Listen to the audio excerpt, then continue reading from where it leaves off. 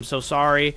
But yeah, this is why Genos is OP. This is why Genos is OP right here. Look at this. Look at this. He's just too overpowered. He does so much damage. Yes, sir. Let's go. Maybe, will this be it? Come on, please. Have the. Someone just got teleported. Oh, he's getting teleported.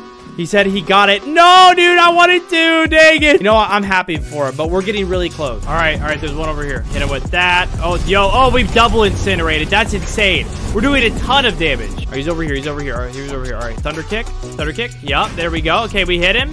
Come on, we, we're trying to do as much damage as we possibly can. The dude ruined my ult. Okay, we gotta do as much damage as we can. As much damage as we can. Come on, there we go. Come on, there we go. Come on. Dude, he's got a slingshot. Oh my gosh. Oh, and someone killed us. Bro, that might have been enough damage. That might have been, come on, please be enough damage. Give me, give me a key, please.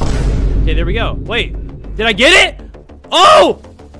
I did it. I did it. I did it. I did it. Here it is.